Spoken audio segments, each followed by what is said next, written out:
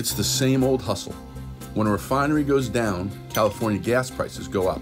This is the time of year that we have planned and unplanned refinery maintenance, which spikes the cost of gasoline and spikes the profits of those that are doing the maintenance. California oil refiners made more than $2 billion in excessive profits during the last gasoline price spike. It's time to require minimum inventories and stop the gasoline price spikes.